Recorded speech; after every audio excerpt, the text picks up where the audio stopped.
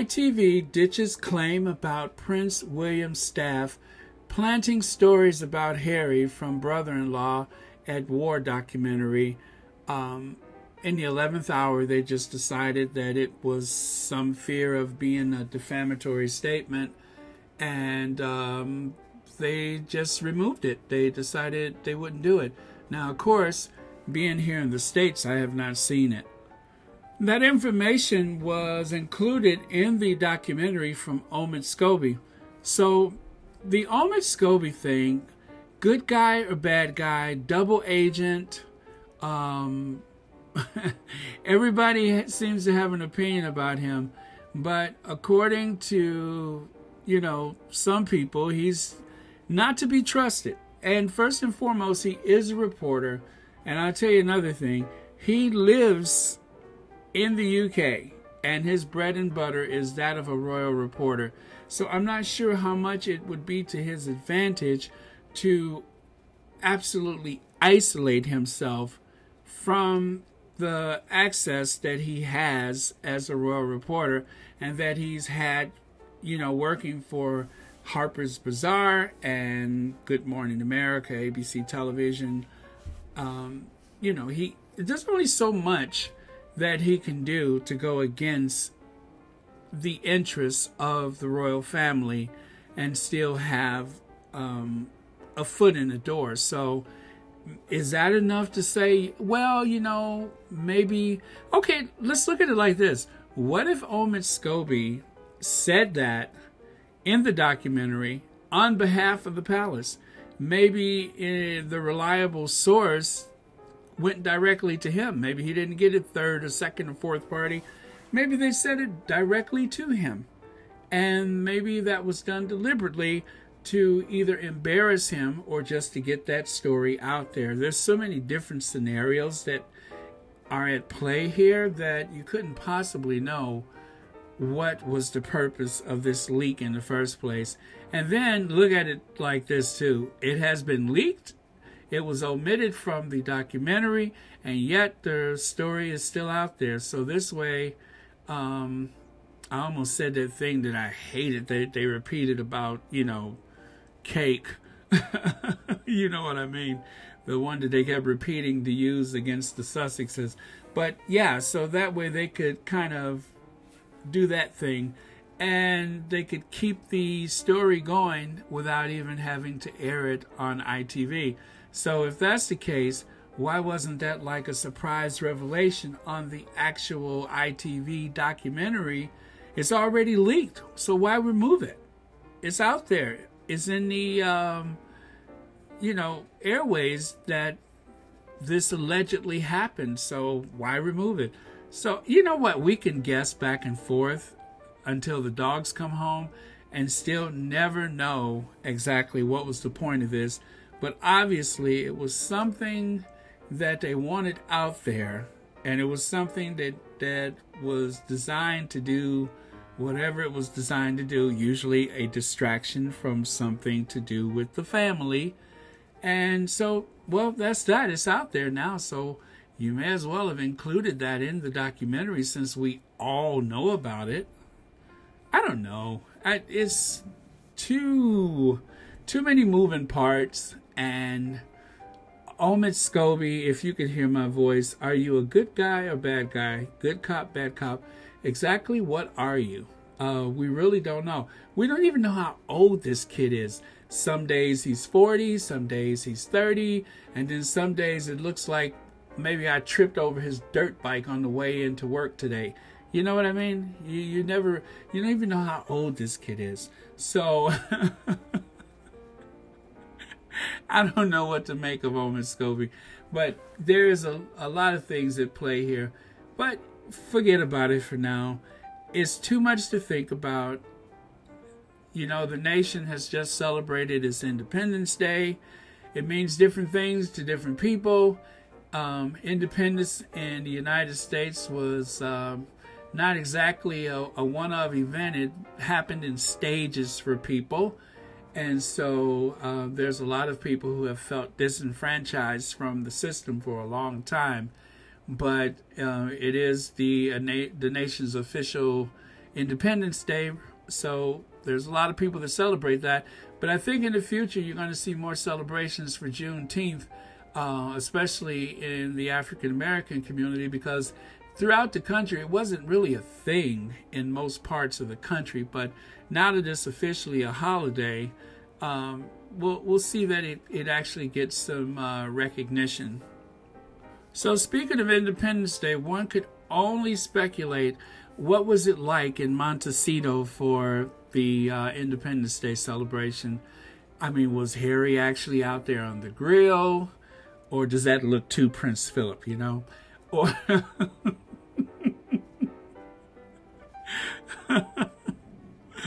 you know that did Doria, um, you know, make anything, or you know, had did like Meghan like guilt everybody into eating something incredibly healthy. Exactly what happened? Was it an organic Independence Day celebration or, you know, that, well, you know what? It's the weekend. And as we know, um, Meghan is a flexitarian. So throughout the week, she's mostly vegan and vegetarian. And then on the weekends, it is omnivore time. So, um, no, not omnivore. What am I saying? It is carnivore time. Yeah. So she's a flexitarian. So I guess that makes everybody a flexitarian. But I tell you what, there is one member of the royal family who I suspect would make a mean potato salad because I think it's in her DNA. and that is the spitting image of Queen Charlotte. Yes, that's right, Afro Annie.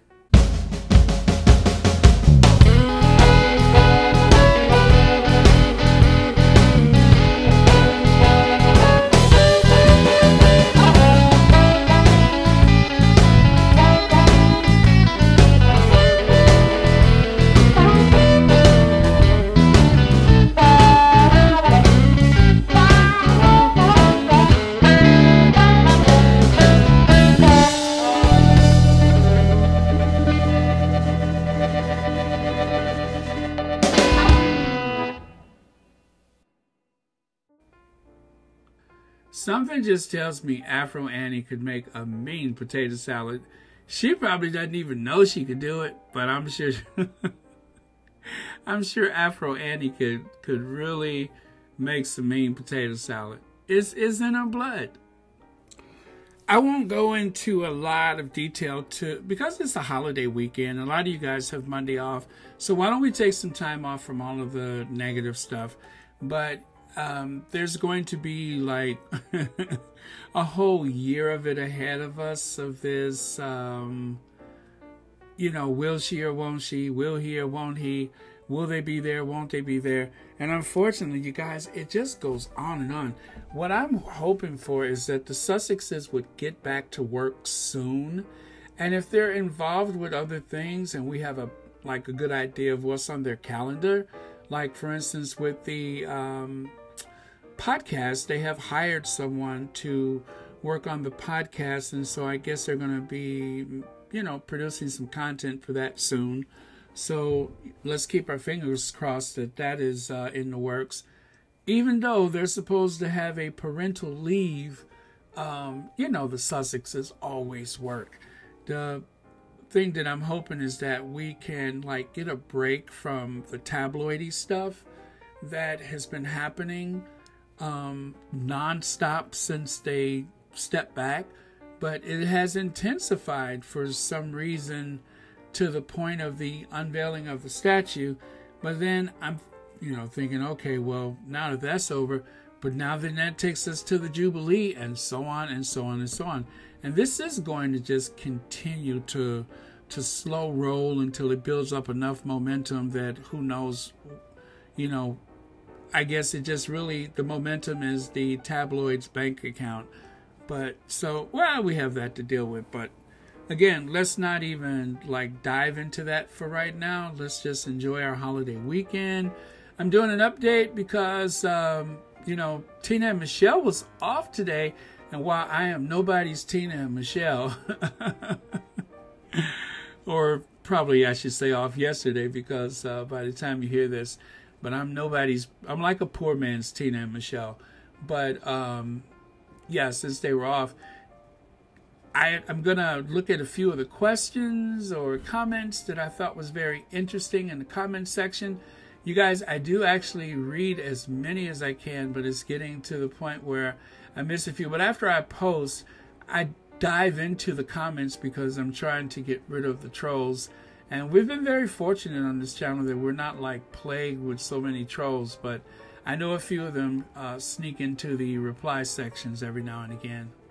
So someone asked me if I would uh, make a video about Sarah Vine. Uh,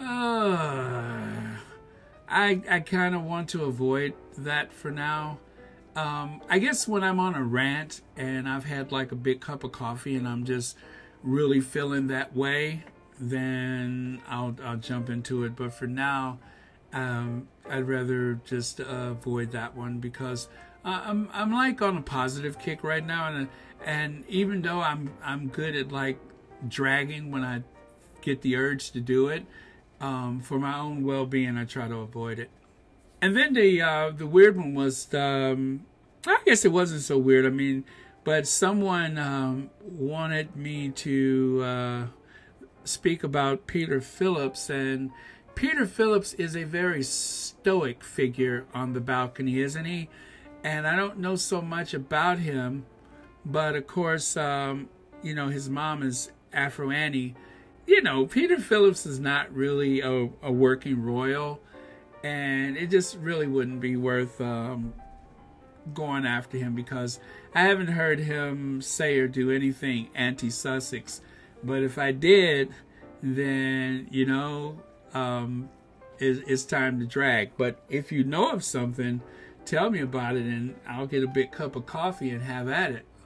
But Tongue Ring Tindall, I, I do have it in for her because of those, you know, during the wedding, she was giving that rather um, eye roll and side eye and stuff like that. And I just thought that was really disrespectful, as though you've never seen like a very, I guess, evangelical like uh, speaker in a, a, church before.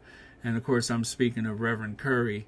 But uh, yeah, I thought that was very disrespectful um, at Meghan and Harry's wedding. So uh, that one I kind of got an in for. Um, just about everyone who did the eye roll that day you know,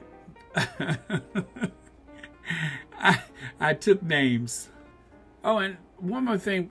I don't know if I ever mentioned this before, but uh, the music um, with uh, Afro Annie is actually called Barbecue. so, very appropriate for today.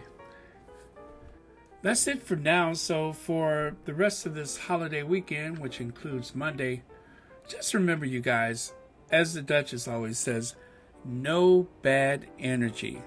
No bad energy. Remember that. But next week, we'll drag those that need to be dragged. I'm just kidding. Seems like I'm just like itching to drag somebody, but no. Um, no bad energy. We'll try to avoid dragging anybody. As long as you don't come after the Sussexes, then we won't have to, um, you know, unpack the adjectives.